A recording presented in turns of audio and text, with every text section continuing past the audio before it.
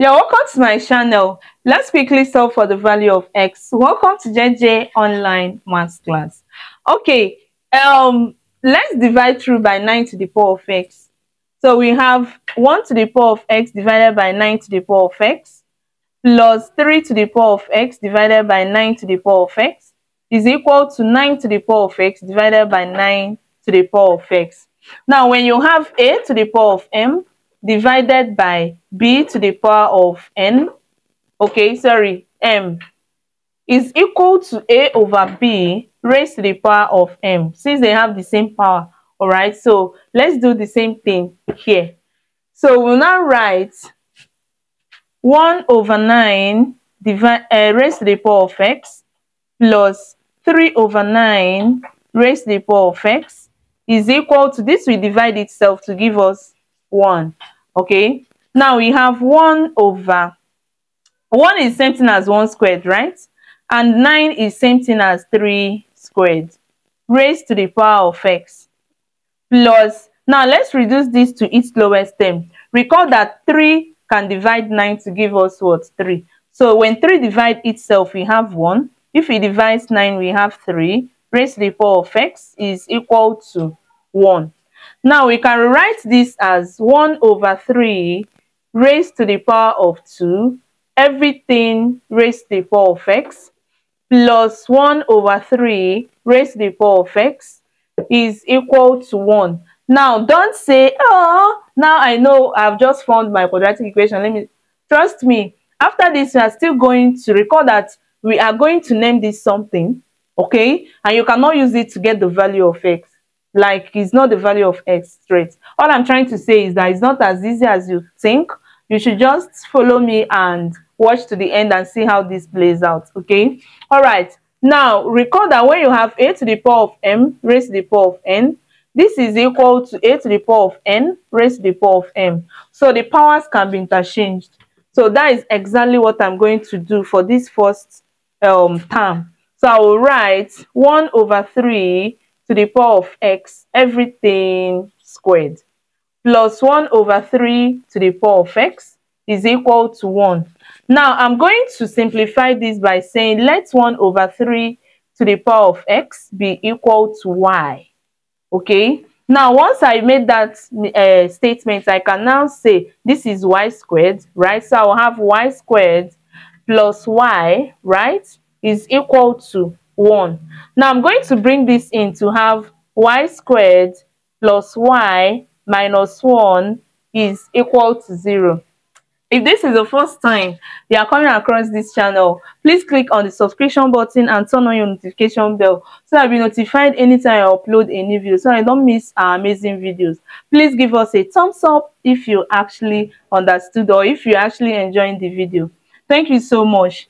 Now we have y squared plus y minus 1 is equal to 0. So we cannot solve this using the factorization method. Rather, we are going to use the quadratic equation formula. Alright? So recall that for your quadratic equation formula, your y is going to be equal to minus b plus or minus square root of b squared minus 4ac, everything divided by 2a. Okay? Now, here our a is equal to the coefficient of y squared, which is 1. Our b is the coefficient of y, which is 1. And our c is minus 1.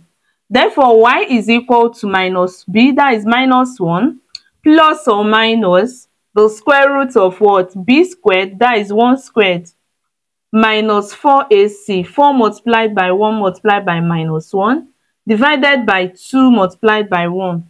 Now, our y is equal to minus 1 plus or minus the square root of 1. 4 times minus 1 will give us minus 4. Minus minus becomes plus, right? So we have plus 4 here. Everything divided by 2. Therefore, we have that y is equal to minus 1 plus or minus square root of 5 divided by 2. Okay, now recall that we are not looking for the value of y, we are looking for the value of x rather. So let us go ahead and um, solve. But before that, I want to write this out where I said 1 over 3 to the power of x is equal to y because I'm going to need it. Yes, I know you can't see this, but I just have to write it somewhere so that I can clean this. Now, let me clean this. So this is what we now have. That y is equal to minus 1 plus or minus the square root of what? 5 divided by what? 2. Okay, so we have that y is going to be minus 1 plus root 5 divided by 2 or your y is equal to minus 1 minus root 5 divided by 2. But when we solve this, we are going to get what? A negative number, right? So this is not going to be used since we are talking of power. All right. Now, let us concentrate on this one. Now, recall that, let me pick what I wrote here. Recall that our y is equal to 1 over 3 to the power of x. Okay, so we are not going to replace this with 1 over 3 to the power of x.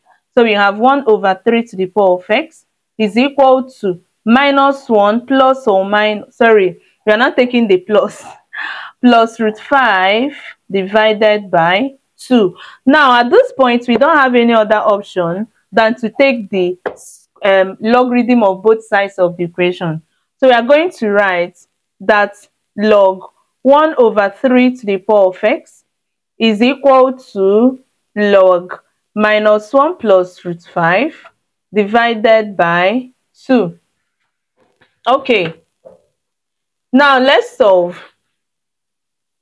So when you have log a raised to the power of b, this is equal to b multiplied by log a. Okay, so we are going to bring down our power here which is what? x.